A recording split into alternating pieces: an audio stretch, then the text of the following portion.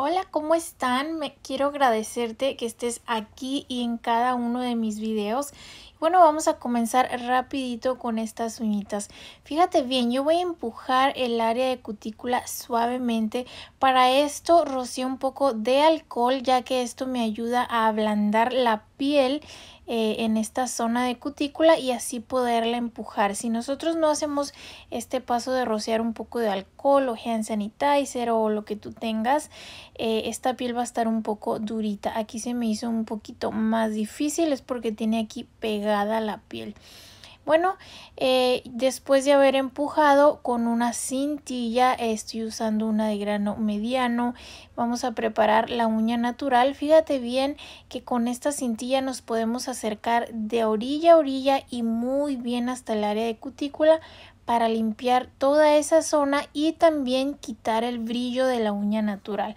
Este paso es bien importante chicas porque así como no debemos desgastar tanto la uña, sí debemos quitar el brillo de toda la placa de la uña, toda, desde orilla a orilla y enfocarnos eh, obviamente sin hacer un surco o el anillo de fuego, el aro de fuego cerca del área de cutícula, de cutícula perdón, pero sí enfocarnos en esa área para quitar toda la célula muerta.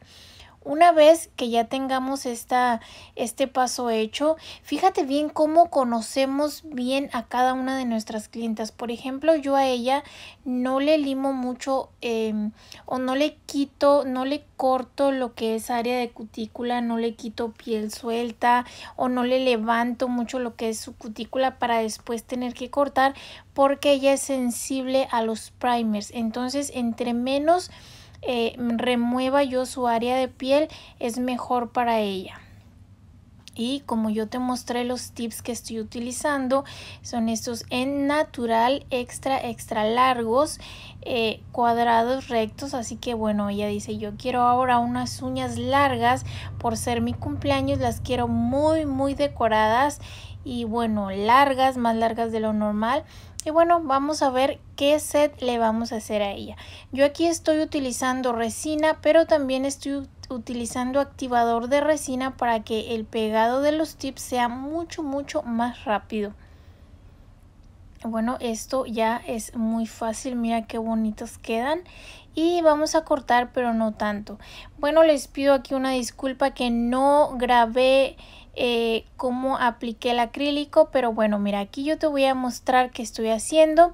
Puse los tres tonos estos y pasé un poco la lima para que los tres colores estén uniformes y después poder encapsular que no me quede grumosa esa zona que no me quede un color más arriba que otro. Entonces los limo y ahora sí encapsulo con acrílico cristal. Fíjate que nada más estoy encapsulando desde área de ápice hasta punta y aquí estoy engrosando un poquito más la punta. Es como que nada más le estoy dando eh, pues una capita ligerita. Aquí puse el acrílico cover desde área de cutícula hasta media uña y fíjate bien cómo voy a poner este tono en color. En el centro lo llevo a una orilla, lo llevo a la otra orilla y luego jalo de un lado hacia otro y luego me regreso con esos jalones parejitos. Así como eh, la fuerza que puse de un lado la puse en medio y también del otro lado para que el acrílico se corra o se barra parejito y tenga un desvanecido muy muy bonito. Después de esto solamente voy a encapsular y pues le estoy haciendo ya no llegando hasta cutícula sino desde ápice hasta punta. Y aquí me falta un poquito yo siento que aquí hay como un hueco y como es área de tensión pues hay que poner mucho cuidado en esta zona y engrosar adecuadamente.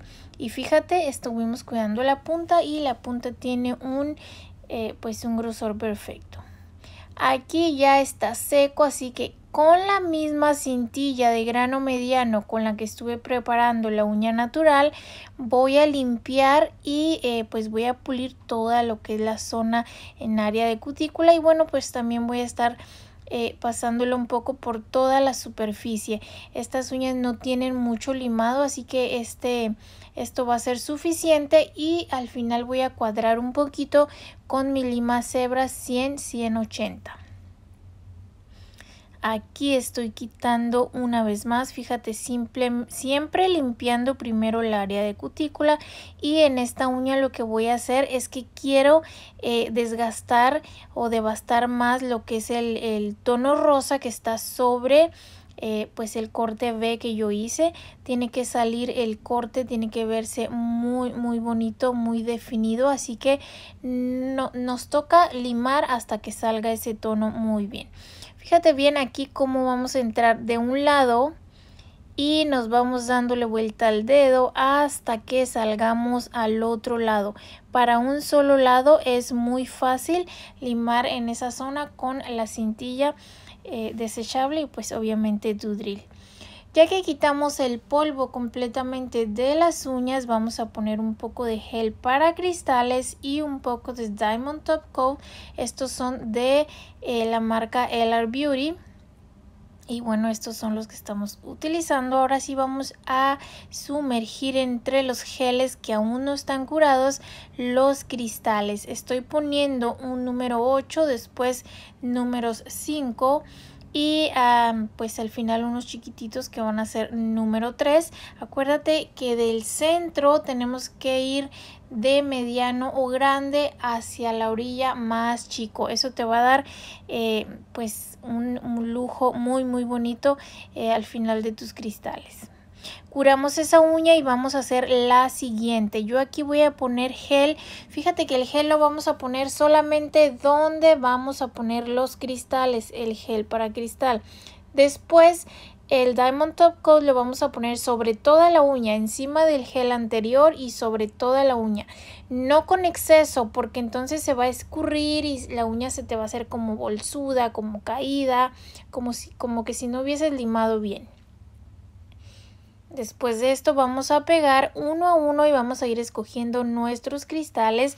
En este caso yo estoy utilizando varios grandes de diferentes tamaños, también diferentes formas, pero pues ir dándole un diseñito ahí lo que es a la uña sin tapar los cortes B que hice, bueno, para que le luzca todo, para que le luzca tanto el corte como los cristales y el tono que pusimos en punta. Después de esto voy a poner unos balines y vas a ver qué lindo se ve, así quedó. Ahora sí lo vamos a llevar a curar a lámpara. Mira, esta pasadita que yo le doy con la brochita una vez más es para quitar exceso de gel para que no se vea bolsuda mi uña. Ahora sí, la llevamos a curar a lámpara. Esto es todo, espero que te haya gustado. Nos, nos vemos pronto.